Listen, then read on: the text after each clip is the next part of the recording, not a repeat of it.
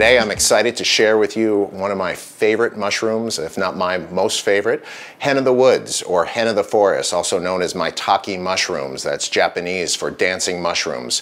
These are fairly rare and hard to find. It's unlikely that you're going to find these at your supermarket. I ordered these online from D'Artagnan and uh, unless you uh, forage yourself uh, or know of a specialty food market, you're probably going to have to find these online but I'll tell you, it's definitely worth it. If you're looking for an unusual side dish or something that's gonna be eye-catching, I think you don't have to look much further than this. Uh, these mushrooms are often found at the base of oak trees around the world, and they are, as I said before, one of the favorites and most prized mushrooms for foragers. And today we're gonna show a couple of different ways to prepare these.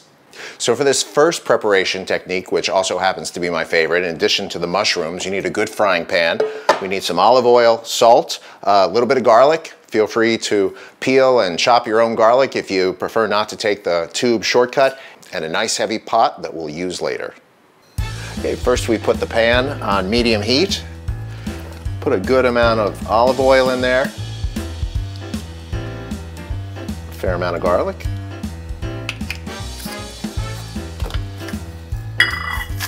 Top it with a little bit of salt. And we're just gonna fry that garlic up for just a moment before we put the mushrooms on top.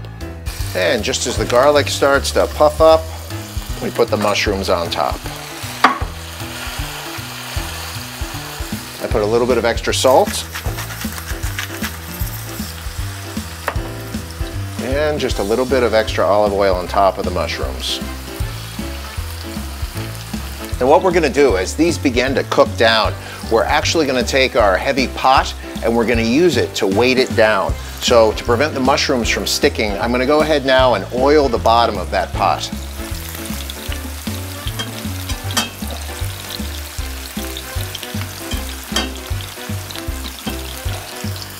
We're gonna leave these on medium heat and let them fry for just a few minutes.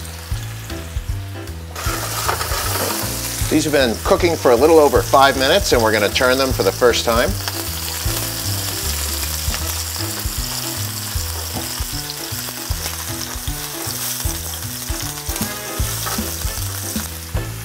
Little extra olive oil.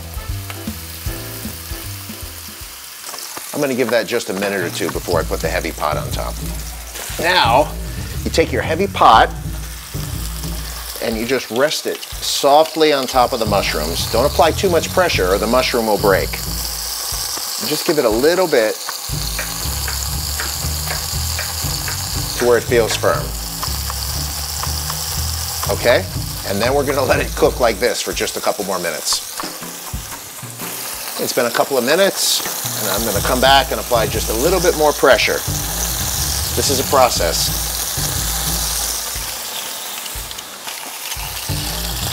Okay, these have been going for about five minutes. Now we're going to flip them again.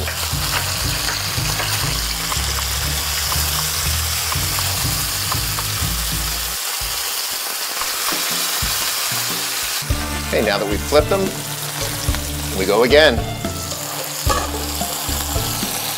Again, you'll feel them a little softer this time. We can apply a little more pressure than before. It's been about three or four more minutes. Time to flip it again.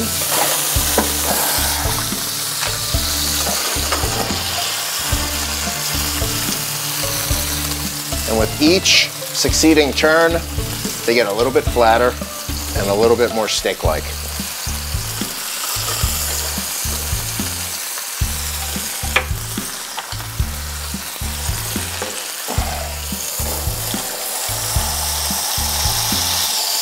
Now I'm pressing a little bit harder.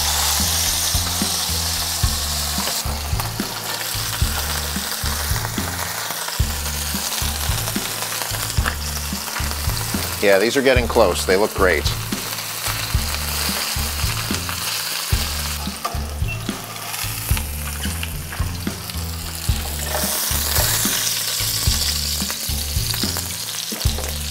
Okay, we are almost there. These look really good.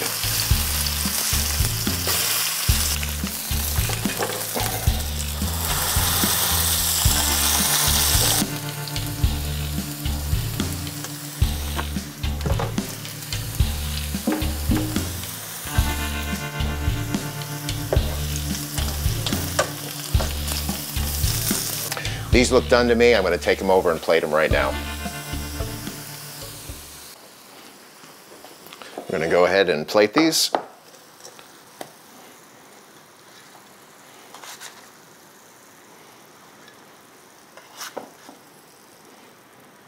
These are some of the most interesting mushrooms I have ever seen. And I really hope you try these because the taste is absolutely unique and out of this world. So as you're cooking these, remember how much they compress. You're starting off with something this large and it compresses down to something this thin. And this is how I would serve them in pieces about this big. This is my favorite way to do them. Again, they're very steaky. They uh, create a really interesting presentation, but there's another way. What you're gonna find is when you get a bag of these mushrooms, you're gonna get a bunch of loose pieces. These saute up really nicely and you can use those on a variety of different things. Um, we're gonna show you how to do that next. And just like last time, we're gonna go ahead and put it on medium heat to start.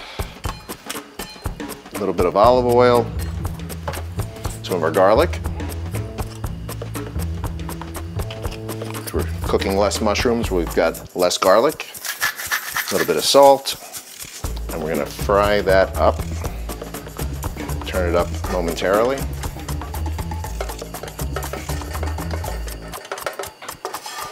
All right, as the garlic starts to puff up a little bit, we're gonna go ahead and put the mushrooms in. I'm going to turn that up to high. We're just going to saute these.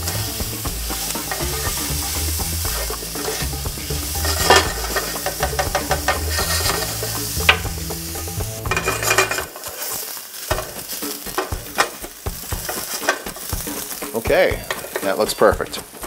Then kill the heat and go plate them.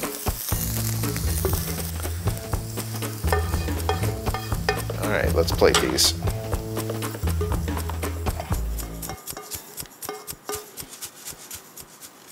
Now for the smaller loose pieces, uh, these are great as a topping, again, maybe by themselves. Uh, I think they'd be fantastic on a flatbread or a wrap or uh, a variety of other things, maybe if they were chilled a little bit on top of a salad. So there you have maitake mushrooms or hen of the forest or hen of the woods. Uh, I absolutely hope you try these. Uh, this is one of the most interesting uh, mushroom dishes that I've seen and I think if you're looking to put something out that's original and eye-catching for the holidays, this is definitely something that you should consider. You're not gonna find them everywhere. You're probably gonna have to look online, but definitely, again, it is worth it. If you've enjoyed this video, I'd really appreciate it if you'd right now click like and subscribe, and please ring that bell so you don't miss out on future videos.